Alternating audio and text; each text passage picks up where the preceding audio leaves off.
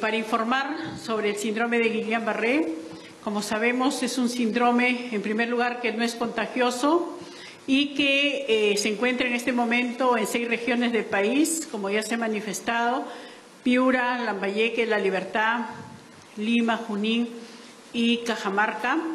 Pero también quiero señalar lo siguiente, que siendo un síndrome autoinmune, que quiere decir que nuestro cuerpo genera en vez de generar defensas para atacar ya sea bacterias o virus, está generando una serie de anticuerpos que atacan nuestro sistema nervioso.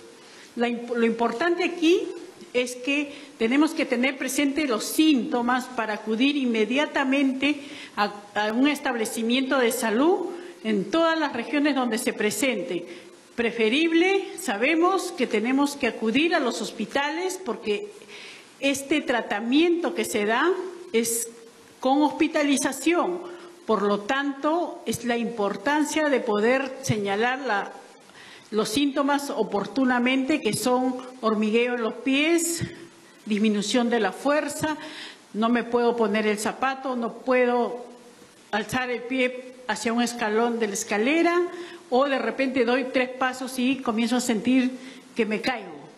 Puede empezar en los pies y va ascendiendo a las piernas, los muslos, como también puede presentarse en, los dedos de la mano, en la mano, en el brazo. No puedo coger el vaso, no puedo coger el lapicero, se me cae. Inmediatamente tiene que acudir a un establecimiento de salud. Quiero señalar que nosotros tenemos un decreto supremo que el tratamiento, el abastecimiento de los medicamentos, insumos y dispositivos médicos está cubierto en todas las regiones del país, por lo tanto, este tratamiento es totalmente gratuito para la población.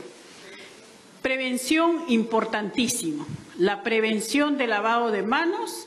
Si estoy lavado de manos antes de ingerir cualquier alimento, después de, de ingerir alimento, después de acudir a los servicios higiénicos, o si estoy resfriado y con tos, cubrirme cubrirme de esta manera para evitar exponer las gotas, ya sea en, la combi, eh, en donde ustedes estén. Y si está muy resfriado, preferible tomarse ese día, no ir a trabajar o al colegio, evitar que eh, prácticamente pueda que la enfermedad respiratoria o digestiva pueda contagiar a, estos, a, más personas. Vuelvo a señalar que el síndrome de Guillain-Barré no de ninguna manera se contagia. Y ustedes dirán, pero doctora, ¿cómo, ¿cómo entonces, por qué nos dice la prevención? Porque se ha visto que el cuerpo se vuelve susceptible de, todo de todos los pacientes que actualmente tenemos por ejemplo, han tenido procesos respiratorios 10, 20 días antes o enfermedades diarreicas. Por eso la importancia de la prevención.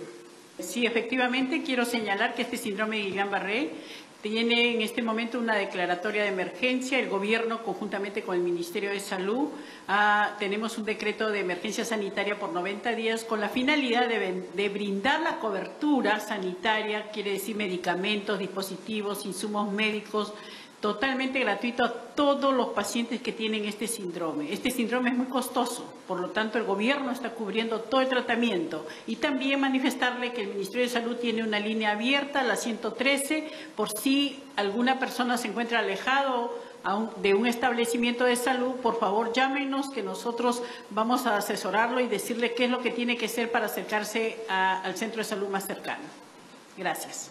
Gracias, ministra. Solo recalcar, entonces, si se tuviera los síntomas, adormecimiento de las extremidades, a veces, normalmente, las inferiores, pero también se han visto casos de las superiores, muy importante lo que dijo la ministra, no perder tiempo. Es muy importante ir directamente a un hospital sin perder tiempo y hemos hecho la declaratoria de emergencia para que todo peruano que pueda tener estos síntomas sea tratado de manera gratuita.